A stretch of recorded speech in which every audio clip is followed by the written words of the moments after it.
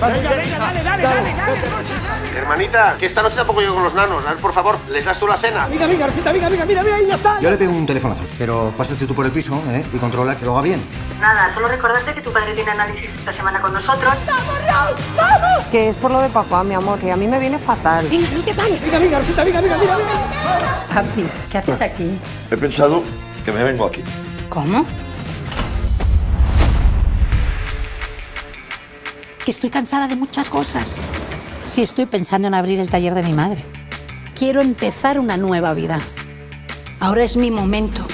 Hay veces que hay que dar al botón nuclear y empezar de ¿Pero cero. de qué voto nuclear me estás hablando, mamá? ¿Pero qué es esto de que te casas?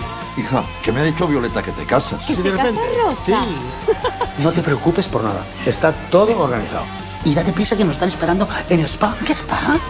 Bueno, y nos tomamos el convite. ¿Qué, con- ¿Qué convite? ¿Cómo se te ocurre llamar a toda la familia de Pamplona? Joder, que os lo dije que quería hacer algo íntimo. Pero soy yo el único que se toma en serio esta boda.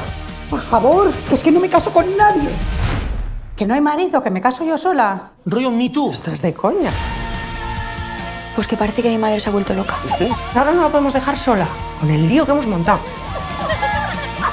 Es que no entiendo nada. Bueno, ¿qué faltaba? Papá. Y a mí me va a dar un ictus. Cásate.